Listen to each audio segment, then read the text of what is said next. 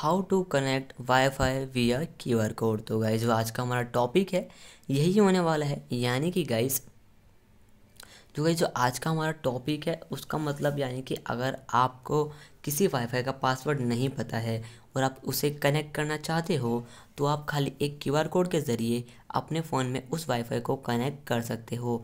कैसे करना है, वो सारी जो प्रोसेस है, सारी चीज़ें हैं, आपको इस वीडियो में जानने को मिलेगा।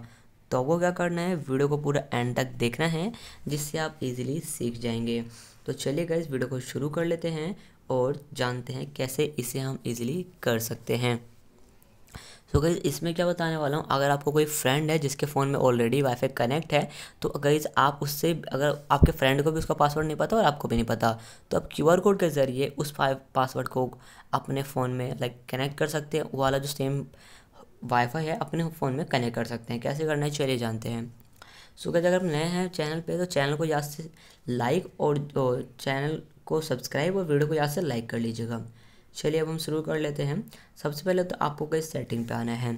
किस सेटिंग पे आना है? आपको उस बंदे के फ़ोन के सेटिंग पे आना है, जिस फ़ोन में ऑलरेडी कोई ना कोई वाईफाई कनेक्टेड है। जैसे कि इस फ़ोन में कोई वाईफाई कनेक्टेड है तो मैं सिंपली इस फ़ोन में आ जाऊँगा सेटिंग पर।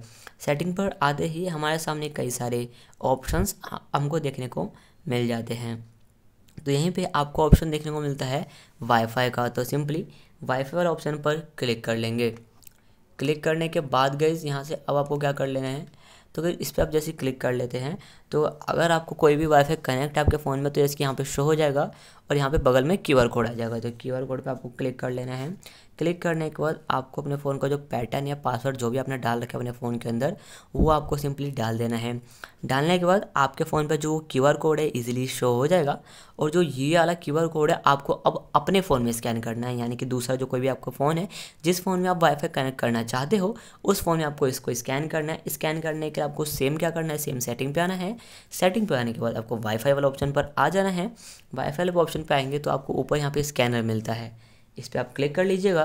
क्लिक करने के बाद यहाँ से स्कैनर ओपन हो जाएगा और स्कैन आप करके ईजीली आप गैस ईजिली स्कैन करके जो वाईफाई है, उसको अपने फ़ोन में कनेक्ट कर पाओगे सिर्फ़ एक QR कोड के ज़रिए बिना किसी पासवर्ड के।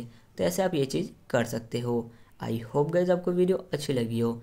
सो गाइज़ वीडियो थोड़ी सी भी अच्छी लगी हो इन्फॉर्मेटिव लगी हो तो वीडियो को प्लीज़ लाइक करके चैनल को ज़रूर सब्सक्राइब कर लीजिएगा।